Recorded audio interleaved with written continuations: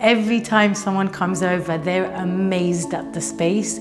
They absolutely love it. And the first thing they, they do ask us is, where did you get your kitchen from? Hi, my name is Moniza and this is my husband Zaki and we live here with our lovely sons Sami and Mikhail. We moved in about two years ago and the kitchen was quite dated.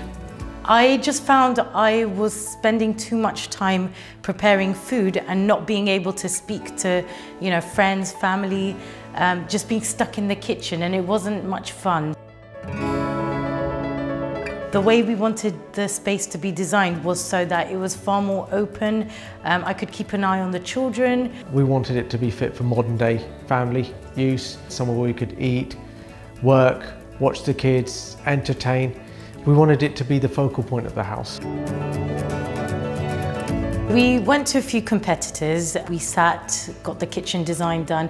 But to be honest, we didn't feel we had the expertise from the designers. They weren't, they weren't very forthcoming with ideas and there wasn't much on display. And the whole experience wasn't anything comparable to what we had with Wren Kitchens. So my view when I saw the showroom for the first time is we're sport for choice. Having seen several other competitors on the high street, every single thing on display was of a very high quality and, and very good standard. Everything was clearly labeled. You knew exactly what you're looking at, what it did, how it worked. It was accessible, it was clean, it was neat, and everyone was very friendly.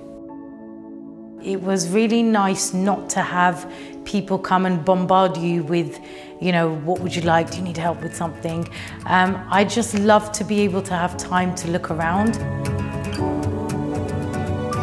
It was extremely family friendly. What we saw with the competition was there was, you know, keep taking children with you is a challenge. You need to keep them busy. And in many of these stores, there's there's other dangerous things that you don't want your kids near, so you've got to keep constantly watch that. But Wren was so child friendly. They always settled them first, asked the boys, would you like to play some games or watch a movie? Um, even before they asked us for tea and coffee. And I think that was really special because it meant I didn't need to worry about what the boys are going to be getting up to and, you know, constantly coming back, Mummy, I want this, and Mummy, I'm bored. We really like going In the game room where you put those in. Yes. Yeah, the VR goggles, and you see what a house is going to be like.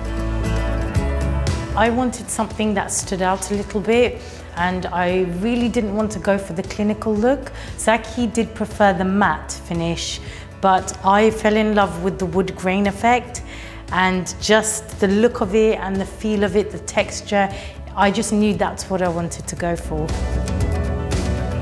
Initially, how we designed it, we had the cashmere um, for all parts of the kitchen, including the island. But it was, I think, on the third visit that I saw on display a two-tone effect and I absolutely loved it and I decided where I didn't want the dark colour on the most parts of the kitchen, um, on the island, it just worked really well with the white quartz worktop. We're very lucky, our, our designer, uh, Prabjot, he was an artist and he was a perfectionist and I think we needed that.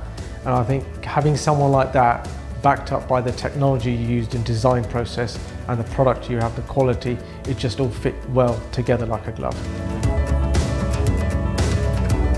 We knew immediately that we wanted certain brands. We've had Bosch um, appliances before and we're really happy with those. For me, it was a no-brainer. I grew up on Bosch products. I was very confident in whatever we purchased from Bosch, it will just do what it says on the box and it'll do it very well. Once we designed and paid for the kitchen, we were waiting for the delivery. Uh, I think that's when my impression of Wren really, really went to another height because you turned up in a brand new spanking clean van. Three men came out from the van. The first one came first and introduced himself as the supervisor of the delivery. He showed me a, a full article of, of items and he gave me a copy. He said, this is the manifest of what we're delivering to you. The delivery team worked with the builders for about an hour to determine where to put the items correctly so that when they built them, they built them in the proper order. Things like that are not very easy to cover off and that just shows Wren how far they went above and beyond on the whole process.